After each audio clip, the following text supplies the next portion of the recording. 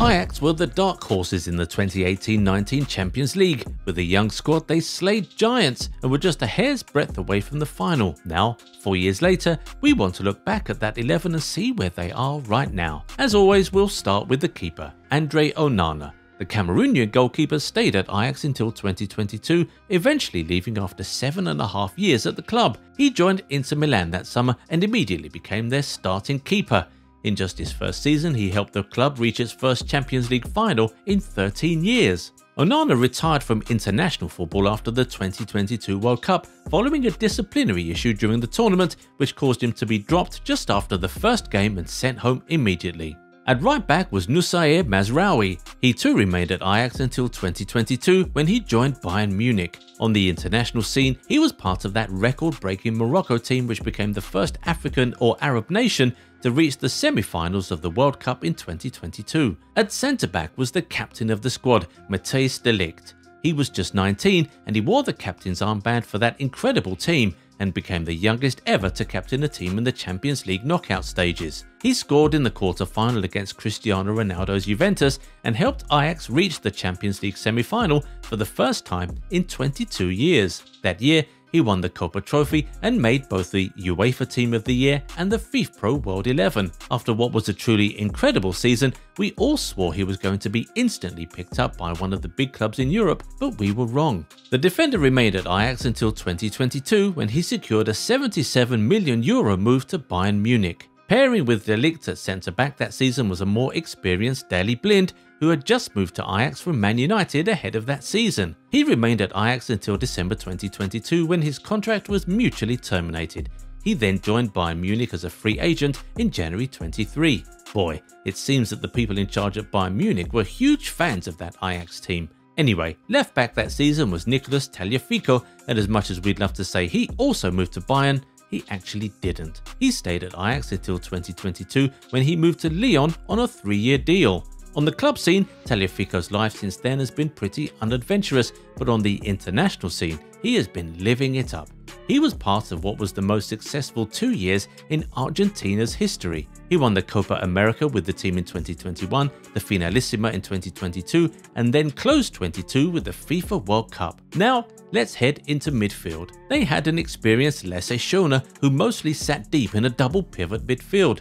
Schöne left the club immediately after that amazing season, but he didn't exactly move for greener pastures. Already 33, he took what was an apparent downgrade to Genoa in Italian Serie A. Ahead of the 2020-21 season, Schöne discovered that his name was not included in the squad for the season, but he got this information just a couple of days before the closing of the summer transfer window, so he was unable to secure a move out of the club until January. He eventually terminated his contract with Genoa and left in January 2021, moving to Heerenveen in the Netherlands. He stayed there until the end of the season before returning to NEC, the Dutch club he was playing for before he joined Ajax in 2012. Pairing with Schöne in the double pivot was Frankie de Jong. The Dutchman was one of the team's best players that season. He was named Eredivisie Player of the Season, Champions League Midfielder of the Season, and was also named in the UEFA Team of the Year that season. The lad was so good that he was chased by the biggest clubs in Europe including PSG, Man City and Man United. He had discussions with all of them but as you know,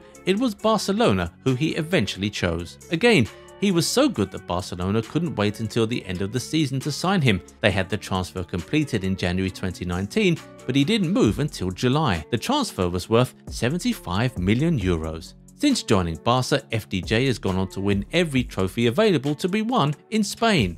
In 2022, Ten Hag tried so hard to convince de Jong to join him at Man United, but the Dutchman refused and stayed at Barcelona. To complete the midfield three, we have Donny van de Beek. An attacking midfield player, VDB was the main connection between the defence and the attack for Ajax that season. He scored against Juventus in the quarter-final of the Champions League and also scored the only goal of the semi-final first leg against Spurs. He then left Ajax in 2020 joining Manchester United for £40 million.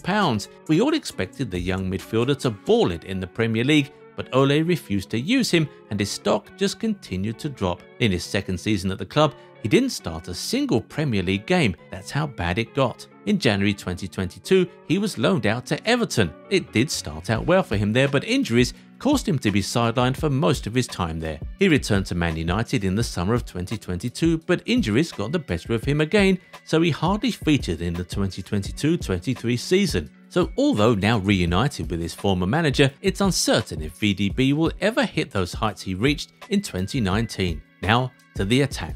On the right was Hakim Ziyech. The Moroccan was one of Ajax's most important players in that crazy Champions League run. First of all, he scored in the playoff round to get them into the competition, then he scored home and away against Madrid to help knock out the defending champions, and then assisted the only goal of the semi-final first leg. He moved to Chelsea in 2020 and helped them win the Champions League in 2021. That same year, he scored Chelsea's only goal in the UEFA Super Cup and helped the London club win the trophy for the first time in 23 years. He also won the FIFA Club World Cup with Chelsea in 2022, but his importance at the club since dwindled and we expect him to leave this summer. But while he might no longer be important at Chelsea, Ziyech is still very important for Morocco. After having initially announced his retirement from international football in February 22, due to the falling out with the coach, Ziyech returned to the team less than two months to the World Cup following the hiring of a new manager. He had three goal contributions for Morocco at the tournament as they went on to finish in fourth place,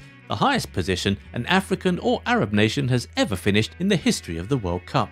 On the left flank was David Neres. He was one of the players we all expected would get snatched up by a big club immediately, considering how young, skillful and prolific he was. He was only 22 that year and scored big goals for Ajax against Madrid and Juventus in the Champions League round of 16 and quarter-final respectively. But Neres stayed there until 2022 and it wasn't for a lack of interest from the big teams. Clubs like Man United and Atletico Madrid came calling in 2019, but the Brazilian opted to extend his contract with Ajax. It turned out to be not the wisest choice. He eventually left the club in January 22 and moved to Shakhtar Donetsk in Ukraine. The following month, the Russian invasion happened and the Brazilian footballers in Ukraine were seen pleading for intervention from the Brazilian government. In March, Neres was able to leave Ukraine and he made it to Romania. In June 2022, he moved to Benfica where he's currently playing. Finally, we have Dusan Tadic. He is literally the one guy on this list who is still at the club and currently captains the Ajax team. He won Eredivisie Player of the Season in 2021. Now, three quick honourable mentions before we go. First,